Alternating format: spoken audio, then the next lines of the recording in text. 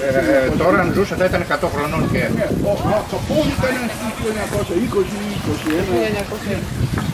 There was a Korologos named Dmitri Δημήτρη Κορολόγος, who was deported because he was associated with Al he Capone. was associated with Al Capone, Okay. and, and they came back, and, and he somehow related. βάλανε Yeah. για να μικρός έφυγε στην Αμερική, στα 30 του 40 του, He's a για kid. να τον διώξουν. Yeah. Πήραν